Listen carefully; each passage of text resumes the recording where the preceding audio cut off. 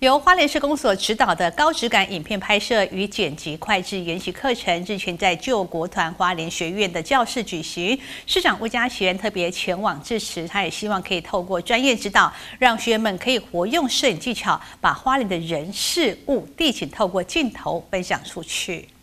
学员们拿着纸笔，仔细聆听台上讲师的课程内容，做下笔记。这是由华联市公所指导，华联市青年公共事务促进会主办的高质感影片拍摄与剪辑快制研习课程，邀请到华联在地的独立制片团队、动画形象企划担任课程讲座，在救国团华联学院教室进行分享，吸引到将近三十位学员报名参加。我们这次呢会办理这样的课程，是因为我们发现就是现在是一个呃影片数位化的时代。所以在很多可能呃职业啊，还有很多可能个人生活上，都会很喜欢用影片来陈述事情这样子。那我们就希望说，哎，可以帮助在地青年透过呃影片的这个后置，或者是说影片的拍摄，然后增加自己在自己工作上或是生活上的一些呃生活的乐趣，然后职业上的需要。那我们主要的也是希望有更多的花莲在地乡亲，能够把花莲的好山好水。跟人情事物的部分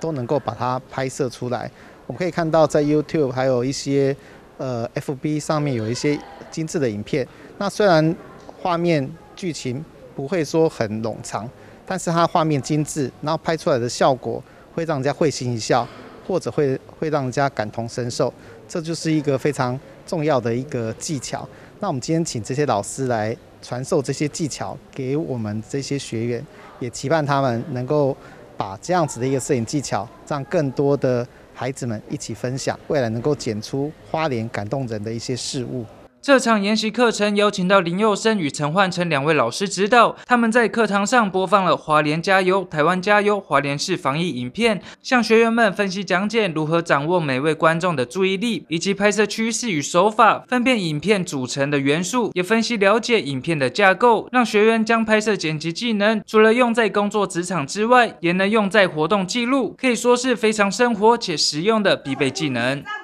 记者徐立琴，华联市报道。